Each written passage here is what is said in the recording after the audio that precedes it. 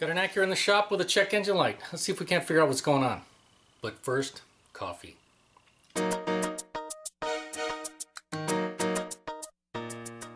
This is what we're working on today, a 2006 Acura TL with a 3.2 liter V6 engine. The complaint on this one was a check engine light, so I'm going to hook the code reader up and see what codes we have stored. Definitely nice to have a little extension on these code readers. And it looks like we have a P0159. Hopefully you can read that. So let's go grab the big scan tool and um, we'll see if we can't figure out what's going on with this. Now, before we grab the scan tool and try to diagnose this, how about a little background info? Okay, so this is a pretty straightforward J-series engine that Honda and Acura have used. This one happens to be a 3.2 liter variation, but they're all going to be very similar the way they're set up and run. Now, of course, back here is bank 1. Up here is bank 2 because we have six cylinders. We got 1, 2, and 3 back there. We got 4, 5, and 6 up here. The firing order on these is 1, 4, 2, 5, 3, 6. Now, the code we read was a P0159, and that's the computer saying, hey, there's an issue with one of the oxygen sensors. There's a slow response on it. And so, so that we're oriented Back here, one, two, and three cylinders, that side of the engine is going to be bank one. Over here, four, five, and six, that's going to be bank two. Now, on each bank, we have a catalytic converter and two um, oxygen sensors. We can see our catalytic converter on this side. It's right here. And then one of the oxygen sensors is on the top, one is on the bottom. So one is before our catalytic converter and one is after it. This one that's before on these newer vehicles, or anything, I don't know, after 2000 or so, they switched over instead of using an oxygen sensor before the cat most um, most vehicle manufacturers use an AFR air fuel ratio sensor which is a little more accurate. It, it's along the same lines as an oxygen sensor but it's not exactly the same thing. The one after the catalytic converter is definitely an oxygen sensor. And so this one is um, being used by the engine computer to control the air and the fuel mixture the one on the back side after the catalytic converter, it's used for a little bit of um, fuel control, but mostly it wants to see how our catalytic converter is doing and make sure it's not, you know, blown apart. So on each side, we have bank 1 sensor 1, which would be our air fuel ratio sensor over here, and then bank 1 sensor 2 would be the oxygen sensor after the catalytic converter. Over here on bank 2, this would be bank 2 sensor 1, and down at the bottom is bank 2 sensor 2 and if I remember correctly bank 2 sensor 2 our oxygen sensor down there is what the computer was saying we have a slow response. I grabbed a light so we could see that bank 2 sensor 2 oxygen sensor a little better. Right at the tip of my finger right there is where it's going to be. See if I can get a close-up so that's it that little gold thing right in the middle. And if we follow it around this right here should be the wiring to it and that's the plug. So this is the plug for it and that's the end of it right there. So this vehicle has four oxygen sensors and each one of them can set a different code for a slow response. So bank 1 sensor 1 for slow response would be P0133. Bank 1 sensor 2 for slow response would be P0139. Bank 2 sensor 1 for slow response would be P0153.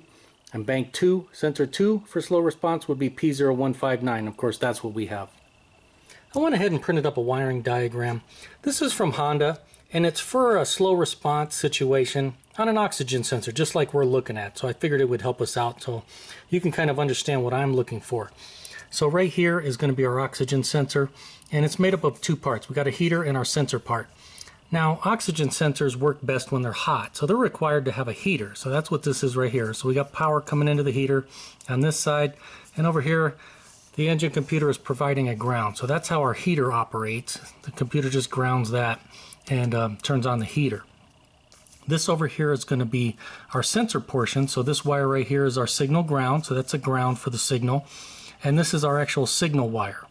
So we have voltage coming in, and the engine computer uses that for diagnostics. And at a certain point, our oxygen sensor starts to generate its own voltage. So it generates its own voltage internally, and that voltage overtakes the voltage that's coming in here. So down here, if we look right here at this little graph, we can see here's a representation of what it looks like if you're looking at a scan tool or on a scope or something like that. You got our voltage coming in, and then when the oxygen sensor starts to work, it drops down into the operating voltage or the area where it operates, which is typically eh, 200 millivolts to 800 millivolts. And then it'll start to work. It'll go back and forth. And right here at about 450 um, millivolts, basically right in the middle of our operating area, is stoichiometric. So that's our perfect air-fuel ratio mixture. So when the signal drops below that, it's indicating it's lean. When it goes above that, it's indicating it's rich. And so the computer will make it go back and forth above and below that. So for a slow response, you know, the voltage should drop down and start going into our operating area pretty fast.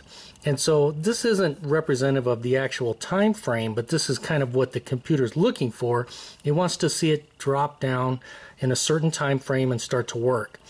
When it's not working properly, it, it's much uh, slower getting down here to where it's supposed to be working, or it'll just stay up here. And so this is what the computer is flagging. When it sees that it's delayed coming down here into our working area, it's flagging a code.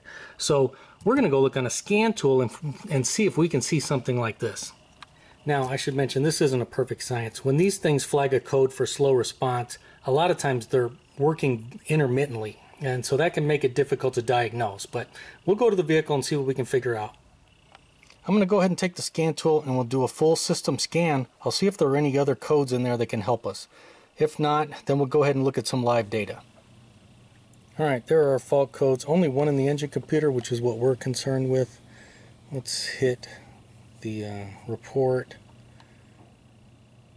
And let's see. So there's our P0, there's our P0159 for our slow response. The other ones are TPMS and body electrical. Looks like problems with the, uh, the MICU and the gauge control module. That looks like either somebody unplugged something or um, could be that, well, it could be an issue. I see a lot of stuff. Um, something went bad. Or um, a bad battery can also cause a lot of that stuff. But we are only concerned with our P0159. So those codes are not going to help us other than that one, but we already knew that one. Now, we'll just go into the engine computer and I'll bring up some live data that I think might help. Alright, I pulled up some data PIDs that I want to check out. These top two data PIDs are going to be our AFR or air fuel ratio sensors, bank 1 and bank 2. Those run in milliamps. We're not too concerned with them, but I do want to see that they're working. Um, the next two data PIDs are going to be our oxygen sensors, our downstream, so bank 1 sensor 2, bank 2 sensor 2. Right now they're sitting at 1.43 volts, so I want to graph those and I'll probably merge them and we'll see how they react as the vehicle heats up. I went ahead and merged the graph so I have both oxygen sensors graphed and they're both merged. So this line right here represents both of them but we can only see one because they're one on top of each other. And then we have our heaters. So most likely we'll be probably watching this for the most part because I want to see the heater amperage and I want to see what our two oxygen sensors do as the vehicle heats up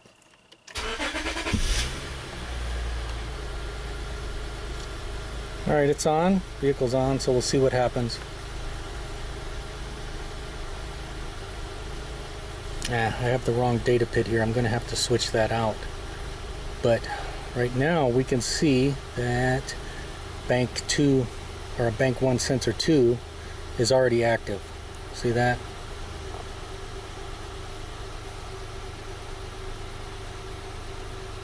So that's a good sign that that one's working, but our one that's setting a code bank 2 sensor 2 the green trace is not doing as much now it is working a little bit but nowhere near as fast as the blue one